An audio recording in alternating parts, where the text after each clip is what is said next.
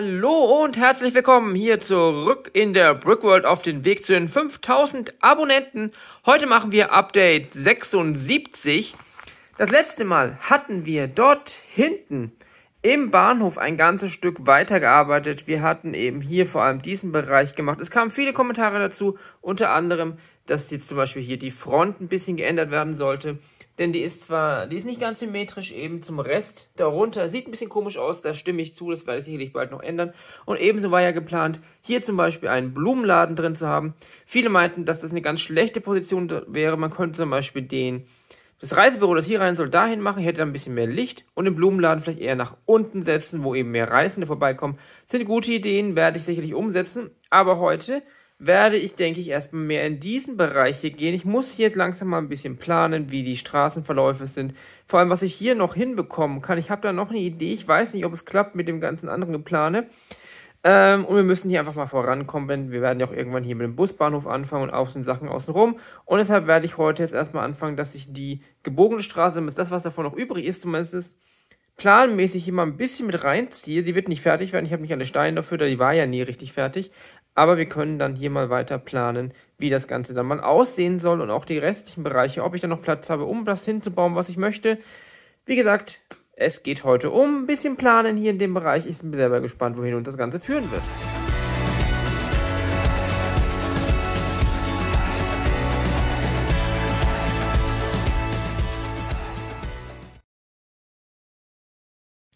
Ja, ich habe jetzt auf jeden Fall mal das Stück Straße, das ich damals gebaut habe, jetzt auch mal hier rübergeführt. Ähm, sieht eigentlich gar nicht so schlecht aus jetzt. Äh, jetzt haben wir natürlich eine sehr schöne Straßenführung hier, meiner Meinung nach. Also, wenn wir dann hier mal den Kreisverkehr fertig haben, dann haben wir hier wirklich ein sehr schön interessantes Stück Straße, das nicht so typisch Lego-mäßig ist. Ähm, ja, damit habe ich zumindest jetzt mal die Begrenzung in die Richtung fertig. Das heißt, die restliche Straße bauen wir irgendwann mal, bauen wir hier vorne noch ein bisschen Gehweg etc. Das ist aber gerade gar nicht so wichtig, denn es geht gerade darum, die Begrenzung des Busbahnhofs und eventuell auch anderen Dingen, die hier noch hinkommen, äh, hinzukriegen. Und dafür war das jetzt auf jeden Fall schon mal wichtig. Das wurde ja, glaube ich, in Episode 14 oder sowas gebaut, mal damals, an einer ganz anderen Stelle. Aber jetzt hat es seinen Weg hierher gefunden und jetzt kann ich hier mal weiter testen mit anderen Dingen. Wir brauchen hier die Zufall in dem Busbahnhof, ob man hier noch irgendwas großartig bauen kann. Ich bin gespannt, ob hier irgendwas reinpasst. Ähm, ja, wir sehen es gleich. Hier seht ihr jetzt meinen ganz groben Entwurf für das Ganze.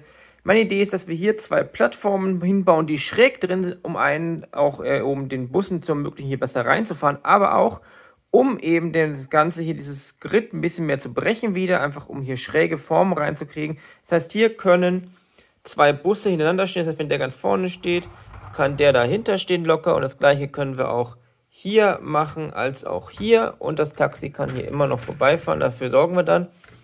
Und ja, die Busse können natürlich die hinteren nicht wegfahren, bevor die vorderen da sind. Meine Idee, dass es einfach ein Busbahnhof ist, an dem die Busse einfach mal durchfahren und das heißt, der, der zuerst da ist, wird auch der sein, der zuerst wieder losfährt. Ähm, ist vielleicht nicht unbedingt hundertprozentig realistisch, da manche Busse vielleicht früher oder später losfahren, aber aufgrund der Platzsache lassen wir das jetzt einfach mal so, müssten wir hier, also hätten wir es alles ganz anders planen müssen, aber dann hätten wir sehr, sehr viel Fläche für nichts, außer eben Straße.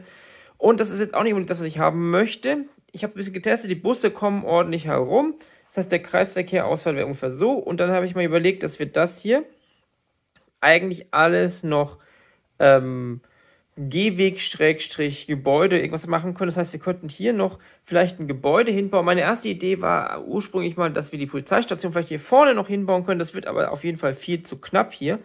Ähm, meine jetzige Idee ist, dass wir hier vielleicht so eine kleine Touristeninformation hinmachen und hier werden wir vermutlich das Ganze mit einem Art Schallschutz ist das nicht wirklich einfach eine Mauer hinbauen aus Steinen und Glas, dass das ein bisschen von der Straße abgetrennt ist.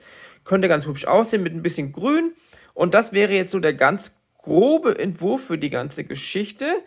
Ähm, ich werde jetzt mal ein paar Sachen anfangen, hier weiter zu planen, auch anfangen, ein paar Sachen endlich mal zu bauen in dem Bereich hier, damit wir auch hier jetzt ein bisschen vorankommen. Ich bin gespannt, wohin das Ganze mich führen wird. Ich hoffe, euch äh, interessiert das Ganze auch. Und ja, ich fange jetzt einfach mal ein bisschen an. Der Bau geht voran, wie ihr sehen könnt. Ich habe jetzt hier den Gehsteig in Anführungsstrichen, äh, den Bordstein, sagen wir mal besser, eingezogen. Die Idee ist, dass wir hier dann unsere Mauer, Schallschutzmauer, Trennmauer, wie auch immer wir sie nennen wollen, einbauen.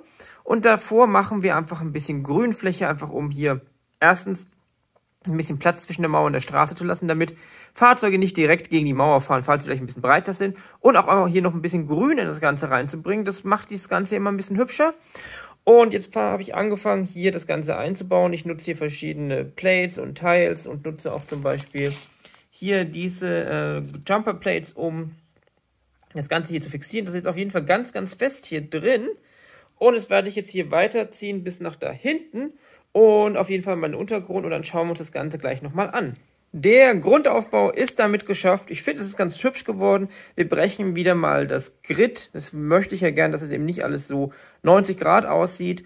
Ähm, das ist der grobe Entwurf. Was heißt grobe Entwurf? Es ist der Entwurf für den Verlauf dieser Mauer, dieser Schallschutz-Schutzmauer. Und die ist, wie ihr sehen könnt, wirklich schön fest. Ich habe hier jetzt alles soweit zugemacht. Äh, diese Teile sind jetzt halt nur grau, weil die eben hier die richtige Entfernung haben, um hier das Ganze schön in Form zu halten. Also das ist jetzt wirklich sehr schön fest hier drin. Da bewegt sich nichts.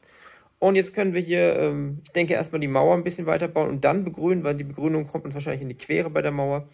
Das werde ich jetzt machen und ja, dann schauen wir uns gleich nochmal an. Ne? Der grobe Bau ist jetzt fertig. Ich habe hier oben noch ein bisschen Deko drauf gemacht. Die Scheiben sind alle drin. Ich habe hier noch ein paar Aufkleber drauf, einfach um hier ein bisschen was reinzubringen. Das hier haben wir ja eh schon mehrfach in der Stadt. Zum Beispiel Moment, ich gehe mit euch nach vorne. Hier klebt das gleiche und ich glaube hier unten in der U-Bahn hatten wir das auch noch irgendwo genau da hinten. Und hier habe ich noch ein paar Werbeplakate hier für eine Halloween-Party und hier für eine Beach-Party. Also einfach damit hier ein bisschen noch Leben reinkommt. Ich habe hier angefangen, das mit diesen ähm, sandgrünen Steinen, äh, Fliesen zu ja, fließen. Das werde ich jetzt noch fertig machen und dann fehlen hier noch zwei Fliesen, sehe ich gerade. Und dann müssen wir mal anfangen, das Grüne hier zu machen. Also ich denke, das wird eine sehr schöne Sache hier vorne. Und bringt, auch wenn man jetzt von hier vorne reinschaut, von der Brücke aus nochmal ein bisschen was hier rein. Wenn wir jetzt ein bisschen rübergehen, sehen wir auch nur die Straße. Also also, mir gefällt es auf jeden Fall. Ich hoffe euch auch. Ich mache weiter.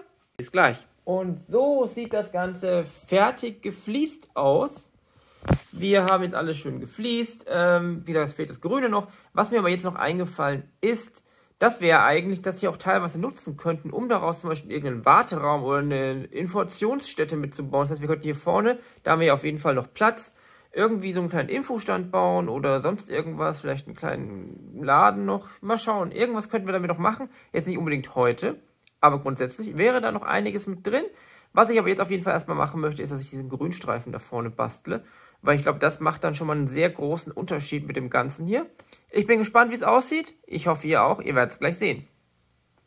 Der Grünstreifen ist fertig, wie ihr sehen könnt. Mir gefällt es auf jeden Fall. Wir haben jetzt sehr schön hier die Kanten, die Löcher hier alle überdeckt. Es bringt ein bisschen Farbe in das Graue hier an der Straße. Und wenn wir uns das vorne nochmal von hier vorne anschauen, von der Brücke aus, sieht man das auch sehr schön. Ich finde, die Sichtachse macht sich hier auf jeden Fall. Und ja, das sieht auf jeden Fall schon mal gut aus. Ich werde mal schauen, ob ich jetzt hier hinten noch ein bisschen was mache. Äh, wahrscheinlich auch hier in dem Straßenbereich. Schauen wir einfach mal, wohin uns die Reise führt. Aber vorher hat gerade der Postbote noch was vorbeigebracht. Und zwar diesen netten Herrn. Ihr kennt ihn wahrscheinlich, Brick Parker. Seine Stickfig ist gerade angekommen. Und ich werde jetzt gleich mal den jetzt einfach mal irgendwo hier hinstellen. Schauen wir mal vielleicht in den Bahnhof vorübergehend oder auch endgültig mal schauen, wo wir ihn hinstellen können. Ich hänge hier gerade mit meiner Jacke an der Stadt fest. Ähm, ich stelle ihn jetzt einfach mal hier unten rein, denke ich. Lassen wir ihn erstmal hier in der Nähe. Auch hier von unserem lieben Stein auf Stein. Und ja, da steht Brick Parker jetzt erstmal. Und schauen wir mal, ob er irgendwann noch einen anderen Platz findet. Aber das ist sein Platz erstmal. Und ich mache jetzt gleich hier drüben weiter. Ein paar Veränderungen haben sich jetzt hier ergeben. Ich habe hier einen Zebrastreifen eingeführt, damit die Leute vom Bahnhof hier rüber können zum Bahnhof, äh zum Busbahnhof natürlich.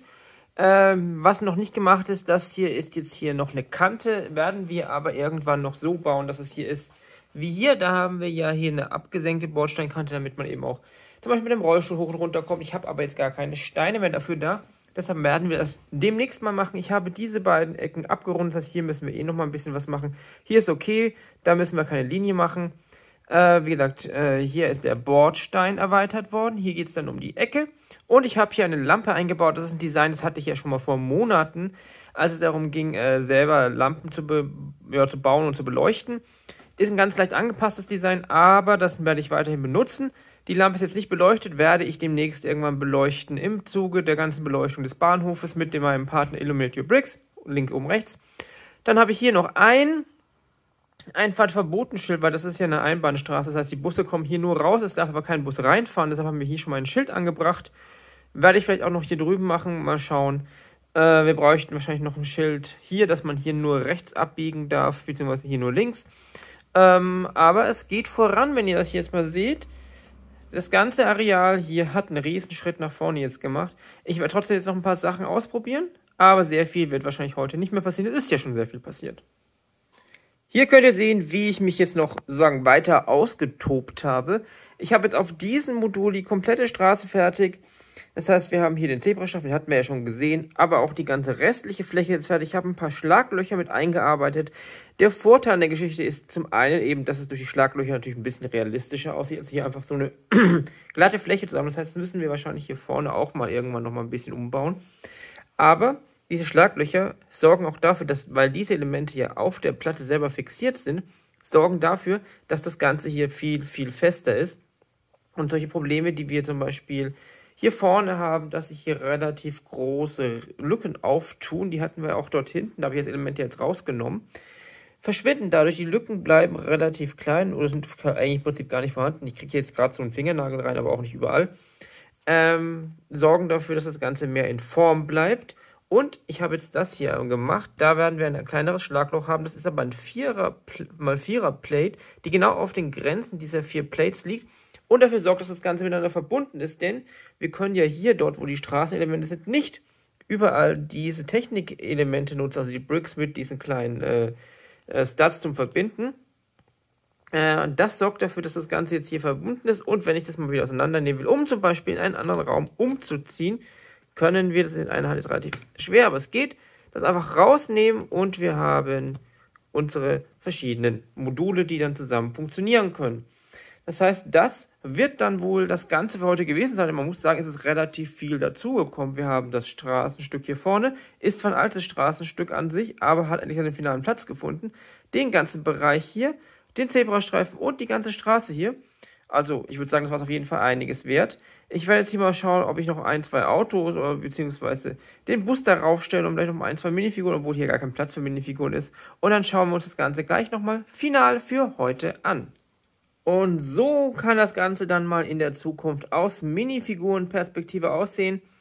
Wie ihr seht, ich habe jetzt einfach mal den, es ist ja im Prinzip ein Porsche, den Porsche dahingestellt.